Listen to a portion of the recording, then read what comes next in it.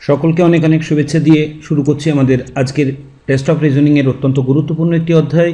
Calendar সংক্রান্ত puzzle বা প্রবলেমসগুলো solve কী করে করব, তার সহজ কিছু টিপস তিনটে জেনারেল কনসেপ্টের উপরে দাঁড়িয়ে আমাদের ক্যালেন্ডার সংক্রান্ত প্রশ্নগুলো সলভ করতে হবে। প্রথমে আলোচনা করি। ওয়ান ইয়ার ওয়ান ইয়ার বলতে গেলে আমরা সাধারণত যে কোনো একটি অর্ডিনারি ইয়ার বা সাধারণ বছরকে বুঝি। আমরা জানি যে অর্ডিনারি ইয়ার বা সাধারণ বছরে টোটাল দিন সংখ্যা থাকে তিনশো পঁয়ষট্টি দিন। এটাকে যদি আমরা সপ্তাহে ভাঙি, তাহলে সাত দিয়ে ভাগ করলে আমরা পেয়ে যাচ্ছি সিম্পলি বাহান্নটা সপ্তাহ প্লাস একটা অতিরিক্ত দিন ওয়ান ডে এই অতিরিক্ত দিনটাকে আমরা বলি অড ডে ক্যালেন্ডার সংক্রান্ত সকল প্রবলেমের মূল সূত্র এটি। অর্থাৎ যে কোনো প্রবলেম সলভ করতে গেলে আমাদের এই অড ডেজটাকে বের করতে হবে। অড ডে কি? খুব সিম্পলি যে কোনো দিন সংখ্যাকে সাত দিয়ে ভাগ করলে, অর্থাৎ যদি সপ্তাহে রূপান্তরিত করি আমরা, তাহলে পূর্ণ সপ্তাহ হয়ে যাওয়ার পর যতগুলো দিন পড়ে থাকে সেটাকে বলব অড ডে তিনশো পঁয়ষট্টিকে সাত দিয়ে ভাগ করলে বাহান্ন হয়, অর্থাৎ বাহান্নটা সপ্তাহ, আর একটা দিন পড়ে থাকে সেটাকে বলছি অড ডে তাহলে একটা বছরে একটা অড ডে যদি এটা লিপ ইয়ার হতো, তাহলে এক্ষেত্রে হয়ে যেত তিনশো ছেষট্টি দিন। অর্থাৎ এখানে হতো বাহান্নটা সপ্তাহ। প্লাস দুটো odd day two odd days এই দিনের তফাতটা কেন হয় আমরা সবাই জানি যে নর্মাল ইয়ারে সাধারণত ফেব্রুয়ারি মাস যেটি হয়, সেই ফেব্রুয়ারি মাসটা হয় আঠাশ দিনের। কিন্তু যদি লিপ ইয়ার হয় তাহলে ফেব্রুয়ারি মাস হয় উনত্রিশ দিনের। ভেরি সিম্পল এই একটি কারণেই লিপ ইয়ারে এক বছর লিপ লিপ ইয়ারের বছরে একটা দিন অতিরিক্ত হয়। তার ফলে জেনারেল ইয়ারে অড ডে এক লিপ ইয়ারে অড ডে দুই। এরপর চলে আসি লিপ ইয়ার কোনগুলোকে বলব? নাইনটিন ফর্টি এই সালটি কি লিপ ইয়ার আমরা একদম ছোটোবেলায় শিখেছিলাম যে চার দিয়ে ভাগ করলে যদি মিলে যায় আমরা জানি যে কোনো সংখ্যাকে চার দিয়ে ভাগ করে মেলার ফর্মুলা হচ্ছে শেষ দুটো সংখ্যা শূন্য অথবা যদি চার দ্বারা বিভাজ্য হয় শেষ দুটো সংখ্যা তাহলেই সেটি পূর্ণ সংখ্যাটা চার দ্বারা বিভাজ্য হবে। চার দশে চল্লিশ, চার দ্বারা বিভাজ্য হয়, অর্থাৎ হ্যাঁ এটা লিপিয়ার এইটিন এইটি ফোর আমার প্রথম দুটো সংখ্যা দেখার দরকার নেই, শেষ দুটো সংখ্যার দিকে তাকাই। এইটি ফোর চার দ্বারা বিভাজ্য হ্যাঁ চার দ্বারা বিভাজ্য, তাহলে এটি লিপিয়ার কিন্তু যদি সতেরোশো সাল বলে, তাহলে কি লিপিয়ার এখানে আমাদের মনে পড়ে যাচ্ছে হ্যাঁ এই ব্যতিক্রমটাও আমরা শিখেছিলাম, যে যদি সালের শেষে, কোনো ইয়ারের শেষ দুটো সংখ্যা জিরো হয়, সেক্ষেত্রে লিপিয়ার হতে গেলে আমরা চার দিয়ে ভাগ না করে আমরা ভাগ করব চারশো দিয়ে। যদি চারশো দিয়ে ভাগ করলে এটি বিভাজ্য হয়, তাহলে লিপিয়ার হবে। সতেরোশোকে চারশো দিয়ে ভাগ করলে এটি মেলে না, তাই এটি লিপিয়ার নয়। আঠেরোশো সাল whether it is leap year or not এটি কি লিপিয়ার আমরা চারশো দিয়ে যদি ভাগ করি না, এটা মেলে না, তাহলে এটাও লিপিয়ার নয়। ষোলোশো সাল। ওয়েদার ইট ইজ লিপিয়ার চার দিয়ে ভাগ করছি, চারশো দিয়ে ভাগ করলে মিলে যাচ্ছে, তাহলে হ্যাঁ এটা লিপিয়ার তাহলে এই জেনারেল ফর্মুলাটাও আমরা ছোটোবেলায় যেটা শিখেছিলাম, সেটা মনে রাখতে, মনে রাখব যে কোনো সালকে যদি চার দিয়ে ভাগ করলে মিলে যায়, তাহলে সেটি লিপিয়ার কিন্তু সেই সালের শেষ দুটো সংখ্যা যদি জিরো জিরো থাকে তাহলে সেক্ষেত্রে লিপিয়ার বানানোর জন্য আমরা চার না দিয়ে চারশো দিয়ে ভাগ করলে যদি মেলে, তাহলে সে সেটিকে আমরা লিপিয়ার বলব। এবার আমরা দেখব, তিনশো পঁয়ষট্টির দিন এক বছর, এক বছরে বারোটা মাস, এবং প্রত্যেক মাসে কোনো দিন তিরিশ কোনো দিন একত্রিশ, শুধুমাত্র ব্যতিক্রম ফেব্রুয়ারি। কোন মাসে কত দিন, এটাও আমরা খুব ছোটোবেলায় একদম ক্লাস টু, থ্রি, ফোরে আমরা এটা শিখেছি। এটাও কিন্তু আমাদের এখন অঙ্ক করতে গিয়ে লাগবে, এবং এখানেও আমরা অনেকে ক্যালকুলেশন করতে গিয়ে অনেকে ভুল করে ফেলি। খুব সাবধানে এগুলো করতে হবে। আমরা জানি জানুয়ারি থেকে যদি শুরু হয়, জানুয়ারি মাস থার্টি ফার্স্ট এরপর অল্টারনেটলি ফেব্রুয়ারি মাস ব্যতিক্রম, ফেব্রুয়ারিটা হচ্ছে আঠাশ দিন অর ফেব্রুয়ারি উনত্রিশ দিন ডিপেন্ডিং অন এটা লিপিয়ার কিনা। লিপিয়ার হলে উনত্রিশ, নাহলে আঠাশ। এরপর একত্রিশ, একটা অল্টারনেট দিলে মার্চ মাস, আবার একত্রিশ, এপ্রিল মাস তিরিশ, মে মাস একত্রিশ, জুন মাস তিরিশ জুলাই মাস একত্রিশ। এটা একটা মনে রাখার বিষয়, জুলাই এবং আগস্ট, এখানে আর অল্টারনেট না হয়ে পরপর দুটো মাসই হয় একত্রিশ। সেপ্টেম্বর থার্টি বা তিরিশ দিন অক্টোবর একত্রিশ নভেম্বর তিরিশ ডিসেম্বর একত্রিশ। আমরা খুব ছোটোবেলায় একটা কবিতা পড়েছিলাম thirty days has September April June and November এটা থাকলেও বেশ মনে রাখতে সুবিধা হয়।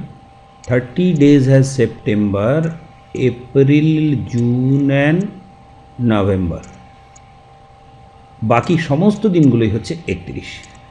একমাত্র ব্যতিক্রম, ফেব্রুয়ারি, এটা আমরা সবাই মনে রাখতে পারি, হয় আঠাশ বা উনত্রিশ লিপিয়ার হলে আঠাশ লিপিয়ার না হলে আঠাশ, জেনারেল অর্ডিনারি ইয়ার হলে, আর লিপিয়ার হলে ফেব্রুয়ারি মাসে উনত্রিশ দিন। এটা আমাদের যখন এক মাস থেকে অন্য মাসের দিন সংখ্যা গুনতে হবে, তখন এটা আমাদের ক্যালকুলেশনে কাজে লাগবে। আরেকটা জেনারেল জিনিস, এবার বারে চলে যায়। বছরকে আমরা মাসে ভাঙলাম, এবার সপ্তাহ বা বারগুলো।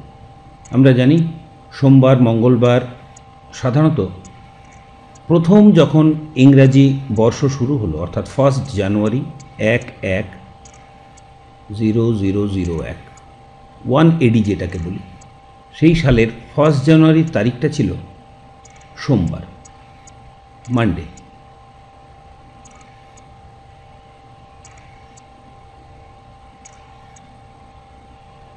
তাহলে খুব সিম্পলি মনে রাখতে হবে যে সোমবার থেকে আমরা সপ্তাহ শুরু করছি, মঙ্গলবার, বুধবার, বৃহস্পতি, শুক্র, শনি। অর্থাৎ মানডে ওয়ান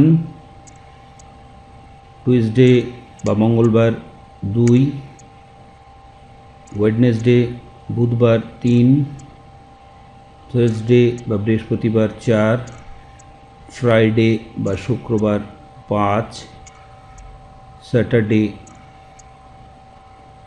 বা শনিবার ছয়, আর সানডেটা হচ্ছে জিরো। কেন জিরো? খুব সিম্পলি ভাবো। পয়লা জানুয়ারি ছিল সোমবার, এক তারিখ। তাহলে তার আগের তারিখ। এক তারিখ থেকে শুরু করছি আমরা দিনের গণনা। তাহলে তার আগের দিন ছিল অবশ্য রবিবার। সেই দিনটাকে আমরা জিরো ধরে আমরা সপ্তাহ ক্যালকুলেশন এভাবে করি।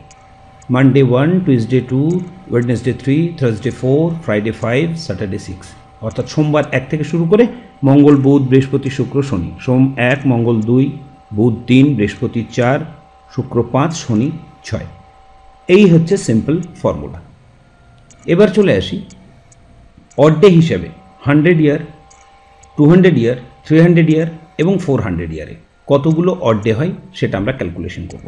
প্রথমে আমরা দেখব একশো বছরে কতগুলো অড্ডে হয়। আমরা জানি এক বছরে অড্ডে হয় একটি যদি লিপিয়ার হয়, তাহলে দুটি। আমরা হিসাব করব ওয়ান হান্ড্রেড ইয়ার এতে কতগুলো অড্ডে আছে। ভেরি সিম্পল একশোকে যদি আমরা চার দিয়ে ভাগ করি, তাহলে পাবো পঁচিশ। অর্থাৎ সহজ হিসাবে বোঝা যাচ্ছে পঁচিশটা হচ্ছে লিপিয়ার আর পড়ে থাকে পঁচাত্তর। পঁচাত্তর বছর হচ্ছে অর্ডিনারি ইয়ার কিন্তু এক্ষেত্রে সামান্য একটি ব্যতিক্রম বারবার আমাদের মনে রাখতে হবে, সেটা হচ্ছে এই একশোতম বছর যেটি, সেটি কিন্তু লিপিয়ার নয়। কারণ আমরা জানি, শেষে যদি দুটো শূন্য থাকে, তাহলে চারশো দিয়ে ভাগ করলে যদি মেলে, তবেই সেটি লিপিয়ার নচেত নয়। এই হিসেবে হিসেব করলে দাঁড়ায় যে একশো বছরের মধ্যে যদিও হিসেব করলে অঙ্কের হিসেবে পঁচিশটা লিপিয়ার দাঁড়ানো উচিত, কিন্তু নর্মালি লিপিয়ার পঁচিশটা না হয়ে লিপিয়ার হবে চব্বিশটা, কারণ একশোতম বছরটি লিপিয়ার নয়। তাহলে জেনারেলি অর্ডিনারি ইয়ার হয়ে যাবে ছিয়াত্তরটা। এটি ভুল, এটি সঠিক। একশো বছরে চব্বিশটা লিপিয়ার এবং ছিয়াত্তরটা অর্ডিনারি ইয়ার চব্বিশটা লিপিয়ারে মোট অর্ডে কত? আমরা জানি একটা লিপিয়ারে অর্ডে হচ্ছে দুই, তাহলে চব্বিশটা বছরে চব্বিশ ইন্টু দুই ইজিক্যাল টু আটচল্লিশটা অর্ডে ছিয়াত্তরটি নর্মাল বছরে ছিয়াত্তরটি অর্ডে কারণ জানি বছরে আমাদের একটা করে অর্ডে হয়।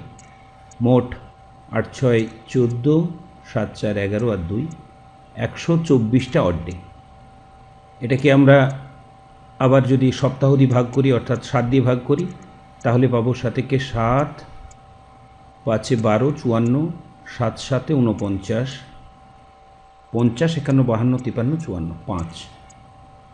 ভেরি সিম্পল একশো চব্বিশ দিনকে আবার যদি সপ্তাহে ভেঙে দিই, তাহলে সতেরোটা সপ্তাহ হয়ে যায়। তাহলে এটি আর অর্ডের মধ্যে থাকছে না, পড়ে থাকছে পাঁচ, তাহলে উত্তর হচ্ছে পাঁচ। একশো বছরে মোট অড ডের সংখ্যা ফাইভ অড ডেজ কতগুলো অড ডেজ আছে? ফাইভ অড ডেজ এটি হচ্ছে হান্ড্রেড ইয়ারের ফর্মুলা একশো বছরে মোট পাঁচটি অড ডে হয়। তাহলে আমরা পেয়ে গেছি একশো বছরে হান্ড্রেড ইয়ারে অড ডে কতগুলো হয়? হান্ড্রেড ইয়ারে অড ডে হয় পাঁচটি। ফাইভ অড ডেজ এটাকে আমাদের মনে রাখতে লাগে। কারণ পরবর্তীকালে যখন অনেক বড় বড় প্রবলেমগুলো আমরা সলভ করব, তখন কিন্তু এটা আর কষে কষে দেখা যাবে না। এটাকে মনে রাখতে হবে যে একশো বছরে পাঁচটা অড ডেজ হয়। ঠিক একই রকম। চলে আসি। দুশো বছরে তাহলে যদি বলি কতগুলো অড ডে হবে? ভেরি সিম্পল দুশো বছরে অড ডে হবে পাঁচ প্লাস পাঁচ। প্রথম একশো বছরে পাঁচটি, দ্বিতীয় একশো বছরে পাঁচটি, অর্থাৎ মোট দশটি ও ডেজ বা অড ডেজ এই দশটি অড ডেজকে যদি আবার সপ্তাহে রূপান্তরিত করি, সাত দিন এক সপ্তাহ, তাহলে পড়ে থাকে তিনটে অড ডেজ দশ অড মানেই হচ্ছে তিনটে অড ডেজ এবার চলে আসি তিনশো বছর। ভেরি সিম্পল তিনশো বছরে কতগুলো অড্ডে হবে? একই রকম। প্রথম একশো বছরে পাঁচটি, দ্বিতীয় একশো বছরে পাঁচটি, তৃতীয় একশো বছরে পাঁচটি, অর্থাৎ মোট অড্ডেজ পনেরোটি। পনেরোটি অড্ডেজ, পনেরোটা অড্ডেজ একে সপ্তাহে দিয়ে ভাগ করলে সাত দুগুণে চোদ্দ, তাহলে অরিজিনালি অড্ডে হচ্ছে একটা অড্ডে। তিনশো বছরে অড্ডে হচ্ছে একদিন। একশো বছরের অড্ডে পাঁচ, দুশো বছরের অড্ডে তিন, তিনশো বছরের অড্ডে এক। এগুলো আমরা দেখিয়ে দিচ্ছি জেনারেল কনসেপ্টটা আপনাদের মনে রাখতেও সুবিধা হবে, বুঝতেও সুবিধা হবে। নেক্সট চলে আসি সব থেকে গুরুত্বপূর্ণ যেটা, সেটা হচ্ছে ফোর হান্ড্রেড ইয়ার চারশো বছরে কতগুলো অড্ডে এটা আমাকে একবার ক্যালকুলেশন করে দেখে নিতে হবে। এটা হলেই আমাদের জেনারেল ডিসকাশন এই চ্যাপ্টারের উপরে শেষ হবে। ভেরি সিম্পল চারশো বছরে প্রথম একশো বছরে পাঁচটি, দ্বিতীয় একশো বছরে পাঁচটি, তৃতীয় একশো বছরে পাঁচটি, চতুর্থ একশো বছরে আমি লিখলাম ছটি। অড ডে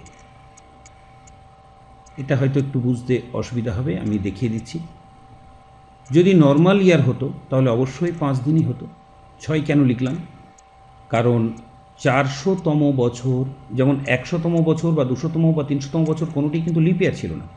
কিন্তু চারশোতম বছরটি লিপিয়ার অর্থাৎ একশো বছরের হিসেবে যেমন আমাদের প্রথমে এসেছিল, আমরা খুব ভালো করে মনে রাখি যে একশো বছরে কেন এই পাঁচটা অর্ডে এসেছিল কারণ হচ্ছে চব্বিশটা ছিল তার লিপিয়ার আর ছিয়াত্তরটা ছিল অর্ডিনারি ইয়ার কিন্তু চারশোতম বছরে কিন্তু আর চব্বিশটা লিপিয়ার নাই, একটা লিপিয়ার বেড়ে যাবে। তার ফলে অর্ডে লিপিয়ারের জন্য একটা বেড়ে যাবে, অর্থাৎ ফাইভ প্লাস ওয়ান এই জন্যই এটা ছয়। তাহলে কত হলো? তিন পাঁচা পনেরো, চার পাঁচা কুড়ি, একুশ। মোট অড ডেজ হচ্ছে একুশ দিন। এটাকে সাত দিয়ে ভাগ করলে জিরো অড ডে ব্যাস, এই চারটে ফর্মুলার উপরে দাঁড়িয়ে আমরা সব প্রবলেমগুলো সলভ করব। আরেকবার দেখে নিই। একশো বছরে অড্ডের সংখ্যা পাঁচ, দুশো বছরে অড্ডের সংখ্যা তিন, তিনশো বছরে অড্ডের সংখ্যা এক, চারশো বছরে অড্ডের সংখ্যা জিরো। অর্থাৎ খুব সিম্পলি যদি এইভাবে বলি, এক এক, জিরো জিরো জিরো, এক। ইংরেজি বছরের প্রথম দিনের জানুয়ারি মাসের প্রথম দিনটি ছিল মানডে। তাহলে যদি বলি এক এক, জিরো, ফোর হান্ড্রেড, ওয়ান, অর্থাৎ চারশো বছর পর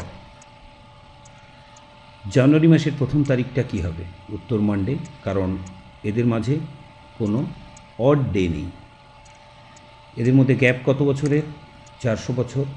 আমরা খুঁজবো চারশো বছরের অড ডে কত? চারশো বছরের অড ডে জিরো অর্থাৎ এটি যদি সোমবার হয়ে থাকে, এটিও সোমবার। এটি যদি বুধবার হয়ে থাকতো, তাহলে এটিও বুধবার হতো।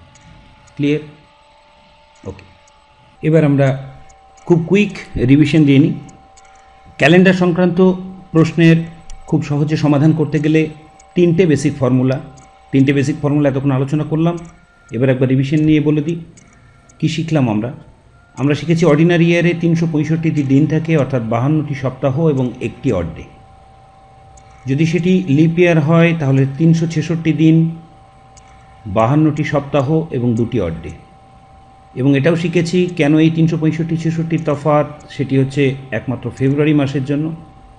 ফেব্রুয়ারি মাসে নর্মাল ইয়ারে হয় আঠাশ লিপ ইয়ারে হয় ফেব্রুয়ারি মাস উনত্রিশ। লিপ ইয়ার কোনগুলো? কোনো ইয়ারকে যদি চার দিয়ে ভাগ করলে বিভাজ্য হয়ে যায়, তাহলে সেটি লিপিয়ার ইয়ারের শেষে যদি দুটো দুটো শূন্য থাকে, ষোলোশো, আঠেরোশো, এরকম যদি থাকে, তাহলে সেক্ষেত্রে চার না দিয়ে চারশো দিয়ে ভাগ করলে যদি মেলে, তাহলে সেটি লিপিয়ার আরেকটি জিনিস আমরা শিখলাম, একশো বছরে মোট অর্ডের সংখ্যা পাঁচ, দুশো বছরে অর্ডের সংখ্যা তিন, তিনশো বছরে অর্ডের সংখ্যা এক এবং চারশো বছরে অর্ডের সংখ্যা জিরো। আর বারগুলো সম্বন্ধে আমরা শিখেছি যে পয়লা জানুয়ারি এক সালে। সেই দিনটি ছিল সোমবার। সেই দিনটি থেকে যেহেতু ইংরেজি বছর শুরু, তাই সোমবার এক, মঙ্গলবার দুই, বুধবার তিন, বৃহস্পতিবার চার, শুক্রবার বা ফ্রাইডে পাঁচ, স্যাটারডে ছয় আর সানডে রবিবারটাকে জিরো। এই হচ্ছে দিনের হিসেব। এই তিনটে বেসিক ফর্মুলার উপরে দাঁড়িয়ে টেস্ট অফ রিজনিংয়ের ক্যালেন্ডার সংক্রান্ত যে কোনো প্রশ্নের সমাধান আমরা সহজে করতে পারব। আমরা সেকেন্ড ভিডিও লেসনে প্রবলেম নিয়ে আলোচনা করব। আমাদের সঙ্গে থাকার জন্য ধন্যবাদ। স্বপ্নপূরণ ডট কম ওয়েবসাইটে যারা রেজিস্ট্রেশন করেছেন, তাদেরকে শুভেচ্ছা জানাই। শুভেচ্ছা জানাই, আমরা ডাব্লিউবিসিএসের উপর একটি সুন্দর ফোরাম গড়ে তুলতে চলেছি এবং তাতে আপনাদের সক্রিয় সহযোগিতা পাচ্ছি। সকলকে আবার অনেক অনেক শুভেচ্ছা। শেষ করছি।